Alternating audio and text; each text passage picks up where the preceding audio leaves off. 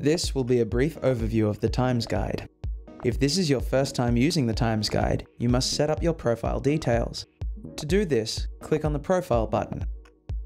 This page will show your current profile details. As you can see, the hourly rate and other details are currently not set. From here, you can now fill in your details and most importantly, your hourly rate, so the Times Guide can use it in its calculations. Once you are happy with your details, click the Update Details button. To search for a specific vehicle repair time, first you must select the make of the vehicle. So in the box, click on the arrow and scroll down to the make you require. Then, move across to the model and select a specific model, year, and engine you require. For this example, we will choose a V6 VE Commodore. Now press the Display Operations button.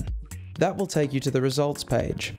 The service times are broken down into convenient subheadings, so if you click on the black bar, it will open up to give you more details. Clicking the black bar again will close it back down. For this example, we will be repairing the brake systems, so we are going to be replacing the front and the rear brake pads and some brake fluid. So we will go into disc brakes. Here we have friction pads, R&R, all wheels. If we click on the grey bar here, it will then add the time to the total time. If we have made a mistake, we click the grey bar again to remove the time from the total. So now we need to bleed the brake system and change the brake fluid.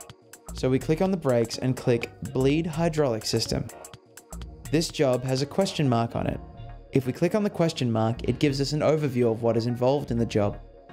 Click the question mark again to get rid of it. So again, we want to add this job, so we click on the grey bar and it will add the estimate to the total. So let's imagine that we have a brake bleeding tool that will half the estimated time required. If we click on the spanner in the corner, we can select a custom value, and then we can enter the time we estimate it will take.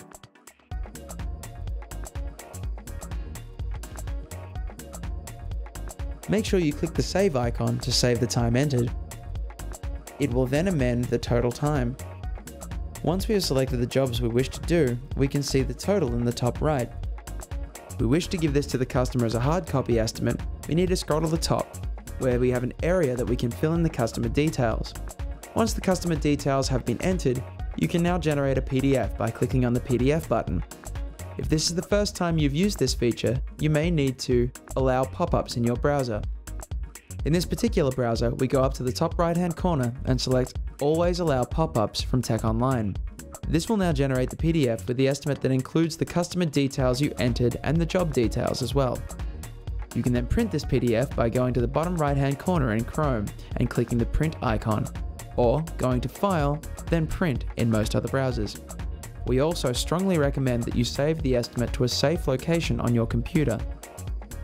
Once you're done with the PDF, click the X to navigate back. On the Times Guide homepage, there is a feedback button if you wish to leave feedback or comment about the service. Thank you for your time.